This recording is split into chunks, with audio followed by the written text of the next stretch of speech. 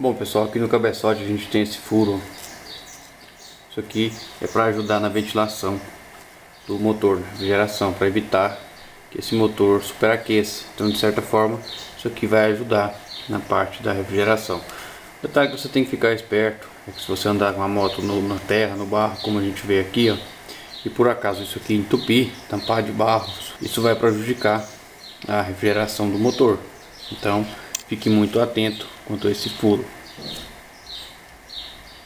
Nem toda motocicleta tem isso aqui, tá pessoal? Mas a que tiver, verifica e fica de olho, porque se isso aqui entupir, você pode esquentar demais o motor e pode ter problema de superaquecimento.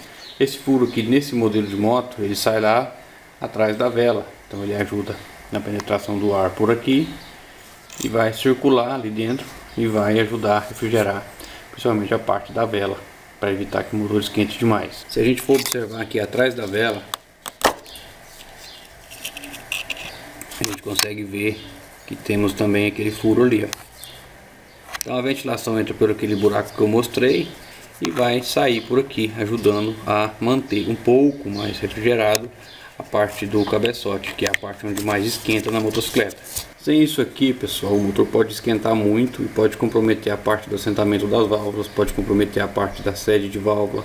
Então, são vários fatores que podem ficar prejudicados com o entupimento desse, desse canal de ventilação. E isso vale também para motor que tem refrigeração líquida, que tem um radiador aqui na frente. Caso você estiver andando com a motocicleta na, no barro e o radiador ficar obstruído, a colmeia do radiador ficar obstruída, isso também pode aquecer demais o motor e pode dar problema, queima junto de cabeçote, pode danificar, como eu falei, pode danificar também assentamento das válvulas, a sede de válvula, então são vários fatores que podem ser prejudicados por falta de refrigeração. Isso aqui, pessoal, é apenas para auxiliar um pouco na refrigeração, tá?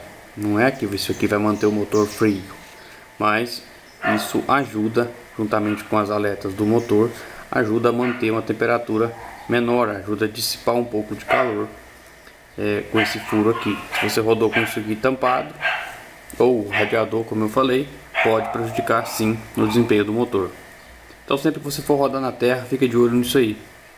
Percebeu que está entupido, está é, obstruído, procura fazer uma limpeza para ajudar aí na ventilação.